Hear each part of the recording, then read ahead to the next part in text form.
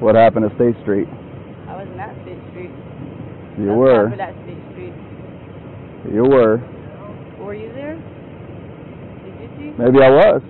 Well, then you tell me, because I wasn't there. Okay. Where's your license at?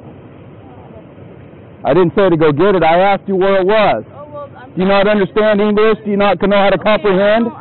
I don't, I Huh? know why you're disrespecting me. I, I, No, you're I disrespecting me. I'm Okay? I thought that meant to go get my license. No. I'm sorry. That was wrong of me. I'm sorry.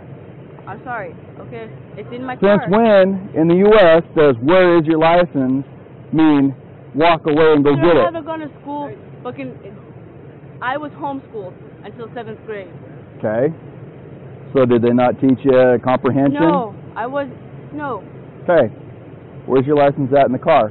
If you go look in the front passenger seat, there's a little, a little thing, and it's right in there. Okay. Can't miss it. Can't miss it. Can't miss it. All right. Why don't you go get it for me? Yes, sir. Mouthy little bitches.